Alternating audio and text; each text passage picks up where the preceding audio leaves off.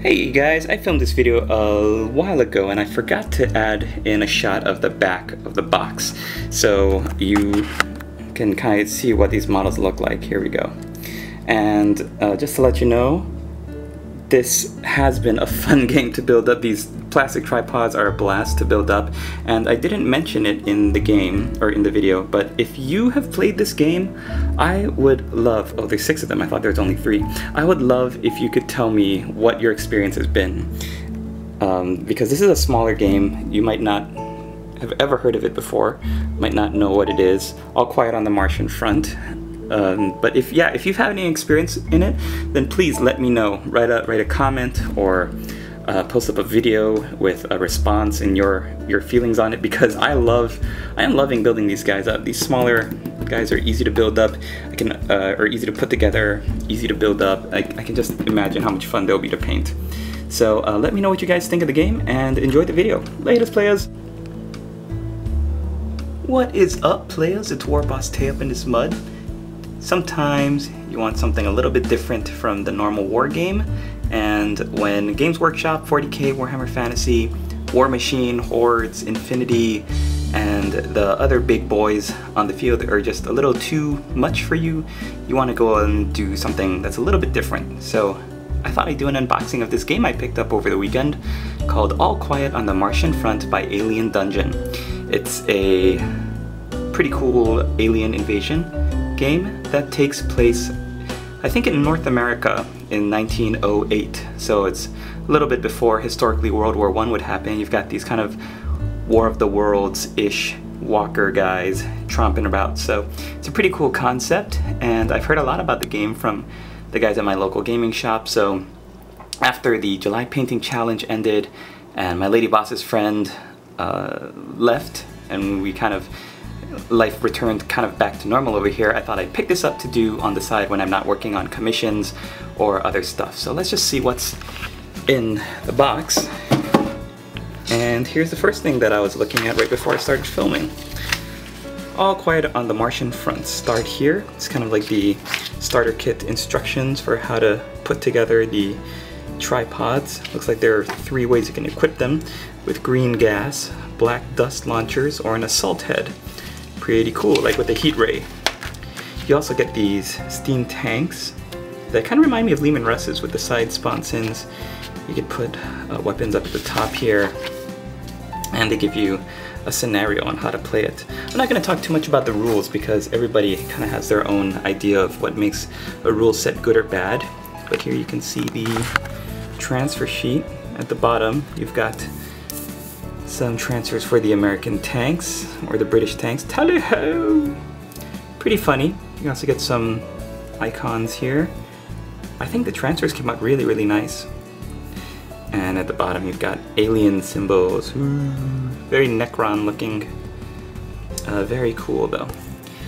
Right, you get two 10-sided dice. This game uses 10-sided dice for percentiles not always for percentiles, but just for uh, to play with rather than d6.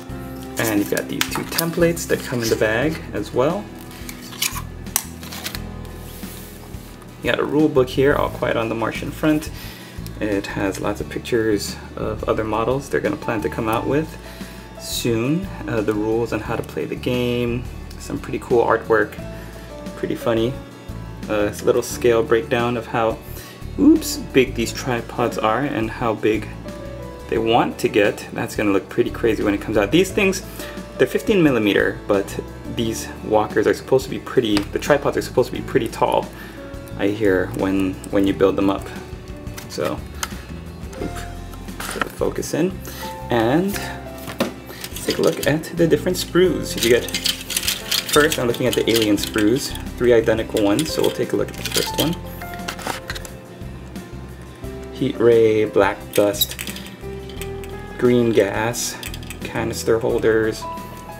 Here's the, a look at the detail on the shell. Really nice. The plastic is not, it, it seems to be different from Games Workshop plastic. Um, I'm not sure how, in what way, but it, it does look a little bit more, they do feel a little bit more like toys than Games Workshop models. And it seems like there's a little less detail, a lot of smooth edges, but I mean, that's not a bad thing. They're, they, they look really well sculpted. Uh, I'm gonna have to really build them up though to see yeah, how difficult or easy they are to put together. Alright, so that's the, that's the alien. Sorry I didn't really take a look at this one for too long. They get nice big chunky bases, no detailing on them, so you could do your own flocking at the bottom. Not sure what everything is, so I'm gonna have to build them up. But uh, stay tuned to see how that goes. And uh, hold on, and we'll take a look at the Americans. Okay, so you've got these counters, immobile, uh, this one looks like it's got little targeting reticles on them with numbers inside, immobile. Uh, hit markers, looks like, not sure what they all mean, I haven't really dug into the, the rule book yet, so they're really nicely done though. And here are the tanks. Now remember these are 15 millimeter scale, so these tanks are actually going to be pretty big if you compare them to what they would look like in real life. And yeah, like I said, very reminiscent of, of Leman Russ looking vehicle with the treads here on the sides and the bodies. Uh, I'm going to be really interested to build these guys up. So that's one of the three identical tank sprues, and here is the other one, the other three.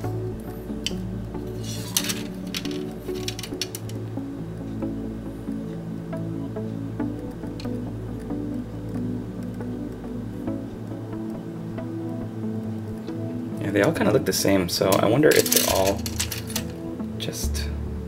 Yeah, they all look like duplicates. You get six, six of these plastic tank sprues, so they were packaged three to a bag, so I thought they were different, but they kind of all look the same.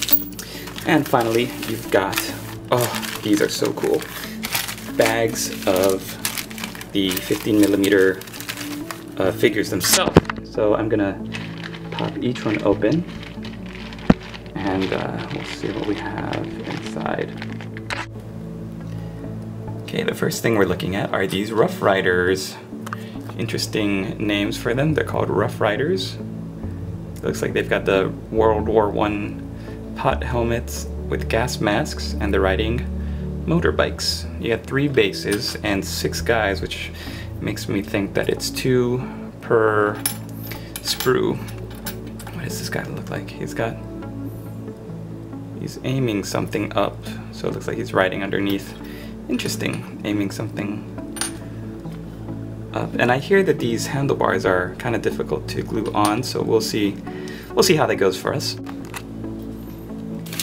All right, next on display are these machine gun teams. So you've got one guy here on the gun, and you've got two other guys next to him, one holding binoculars. It's interesting painting Death Korps of Krieg. I'm noticing a lot of similarities, like this little pack on the front of them is very reminiscent of the Death Korps of Krieg um, little rebreather packs. And then I guess here you've got a loader holding another pack of ammunition or something. But like I was looking at these and my camera does not get very close up unfortunately, to look at the detail of all of them. Or does it? Ah, it does. Here we go. Igor, do your job correctly. I'm sorry, master. Yeah, look at the detail. Really, really nice.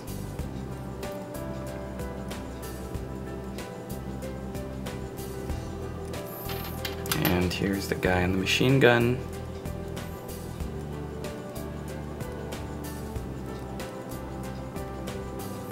Not bad, not bad for sculpting in such a small scale, I think.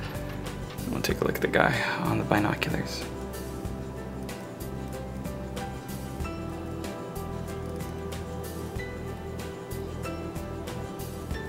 Like they've got a pack with a sleeping bag, a canteen, and uh, not sure what this is at the bottom of it. All right, so uh, next we're gonna take a look at the infantry. All right, this is the final thing we're looking at. You get two bags of these. Oops.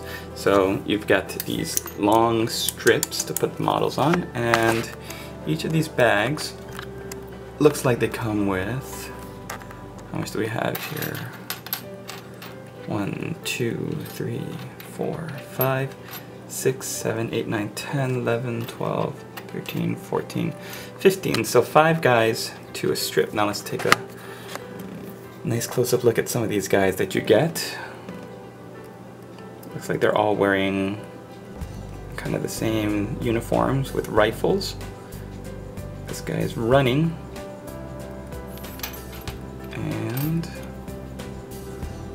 Yeah, it looks like they're all kind of geared to be advancing towards the enemy.